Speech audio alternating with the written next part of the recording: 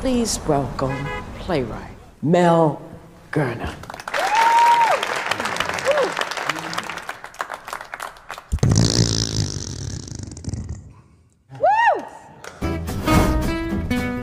She used my toothbrush? I think Dad did. Who does he think he is? Hey, Dad, I'm not trying to be a nag. I'm not who you think I am. Great. Come here. No. I said no! Oh! Shame on you! Hey, Jackie, what's up? Hey, Chuck. Does anyone call you Chuck? No. Well, they should. You can tell me anything.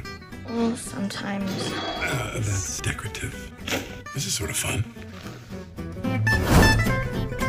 Your mom? She's dead. Why is a soap actress the co-owner of our building? Oh my god, yeah, she kind of looks like. Looks a lot like you. You want to meet her right now? Yes! You do not want to meet this woman? No, no, no, no, no, no, no, no, no. Well, we're not going to get another shot in, so that's lunch. We don't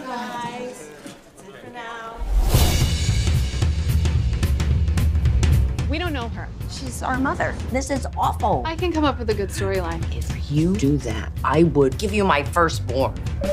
Oh, that's you. Yeah.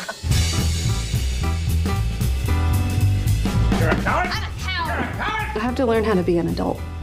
You do not want my mom as your mom. Is she funny? Not on purpose. I know that you're processing a lot right now. I just don't want you to get arrested. I'm calling the cops. What is your name, ma'am? How is that pronounced?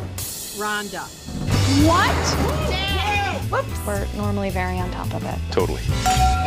Oh, we fabulous. You left. That's insane. You wanted to do it. I would never leave you high and dry. I'm not a monster. She was so sweet, though. No, Jackie. She abandoned her children. Oh, I've already got you, so I might as well get you.